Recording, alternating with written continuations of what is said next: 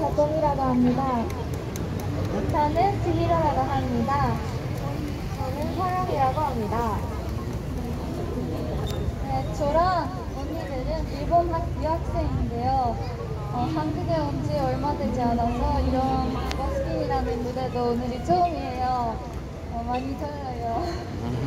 어, 저희는 어, 한국에서 아티스트가 되려고 열심히 준비하고 있으니까 앞으로도 오늘도 많은 응원 부탁드립니다. 감사합니다.